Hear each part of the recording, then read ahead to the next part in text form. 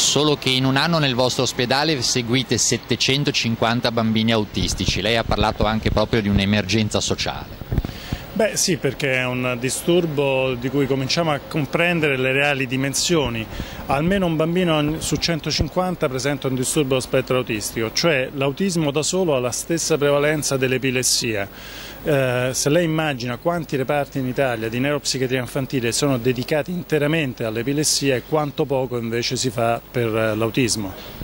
Non esiste un farmaco specifico per l'autismo però? Non esiste un farmaco per l'autismo, però esistono farmaci che possono aiutarci nella gestione di alcuni problemi che i bambini autistici presentano di frequente, in particolare l'irritabilità e l'aggressività che spesso nell'adolescenza più che in altre fasce d'età compare o l'iperattività che è anche un elemento forte, che condiziona fortemente lo sviluppo di questi bambini. Lei ha anche invitato a diffidare di cure di centri privati che non sono magari affidabili.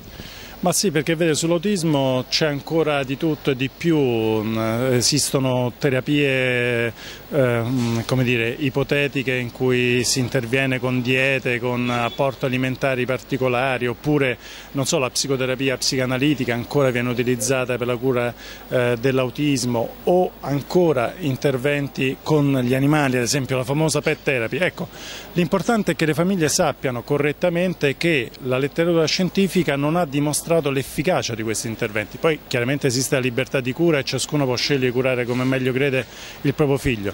Credo che le strutture pubbliche debbano fare una corretta informazione. Pensi che ancora fino a poco tempo fa, non so se ancora oggi, alcune ASL d'Italia prescrivono per l'autismo la cura, la camera iperbarica ed è risaputo che questo è inutile se non addirittura dannoso. Cosa c'entra il peperoncino con l'autismo?